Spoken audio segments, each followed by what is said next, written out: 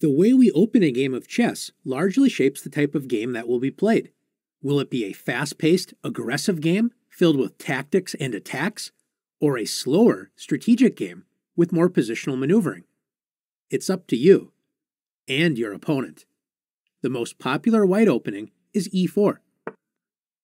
You may have heard of the Ruy Lopez, Italian game, and Sicilian defense openings. They all start with the move e4. Now let's take a closer look at the basic ideas behind these e4 openings.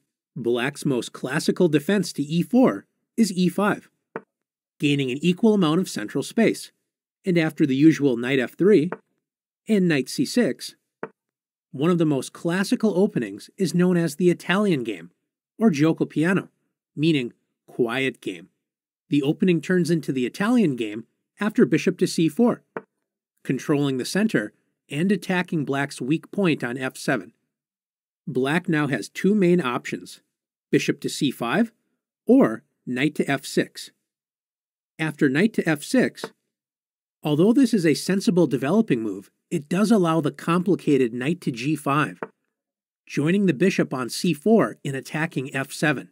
This leads to very dangerous attacking lines, and black has to know exactly what to do to avoid getting into a very bad or losing position quickly. For this reason, we recommend playing the more straightforward bishop to c5. Black develops the bishop to an active diagonal, pointing at the weak f2 square. Notice that white cannot play knight to g5 because black's queen protects that square. So if white plays d3, black develops the knight with knight to f6.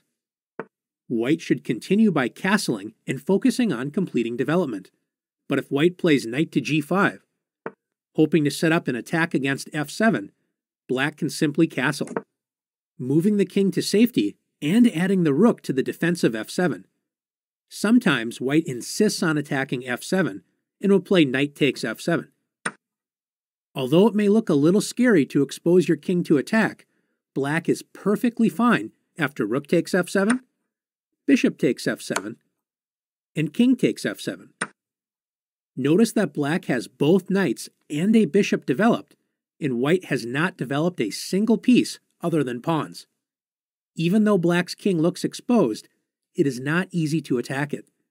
Black will continue to complete development much more quickly than white, and black can always move the king back to g8 and even h8 if you're really worried about king safety. Now let's take a look at white's most popular response to e5, the Ruy Lopez. After bishop to b5, this opening is known as the Ruy Lopez. White puts pressure on black's knight that is helping protect the pawn on e5 and control the center. Black's most popular move is a6, attacking white's bishop. White sometimes will capture the knight with bishop takes c6. White gives up the light squared bishop to double black's pawns on the c-file. This is known as the exchange variation of the Ruy Lopez. Black should recapture with d takes c6. White can castle and play against black's slightly worse pawn structure with the doubled pawns on the c-file. But white should not try to win a pawn after knight takes e5. Black can now play queen to d4, attacking both the knight on e5 and the pawn on e4. After white moves the knight to safety, black captures the e4 pawn, getting a good game.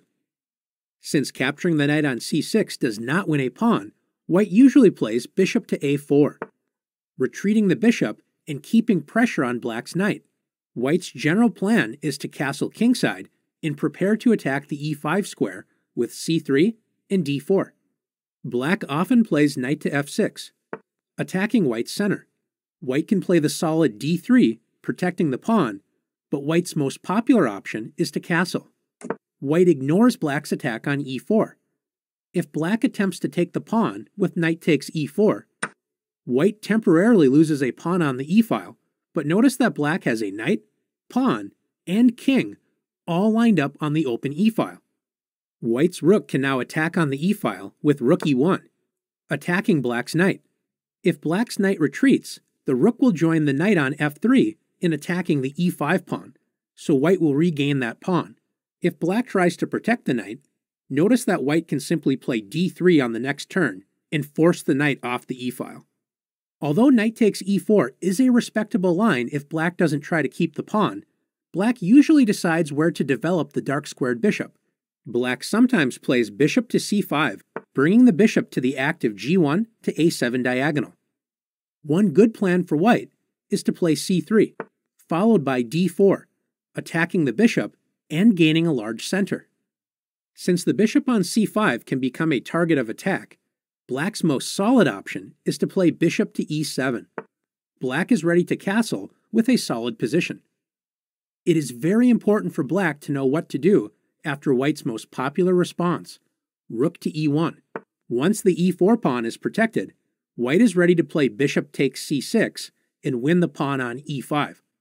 Black should prevent this by playing b5, and after bishop to b3, black castles. White will prepare to attack black's center pawn on e5 with c3 and d4. Black usually defends e5 by playing d6 and deciding where to develop the light squared bishop. This is one of the most well known positions in the Ruy Lopez. After learning more about the Italian and Ruy Lopez openings, let's test your opening knowledge in the challenges.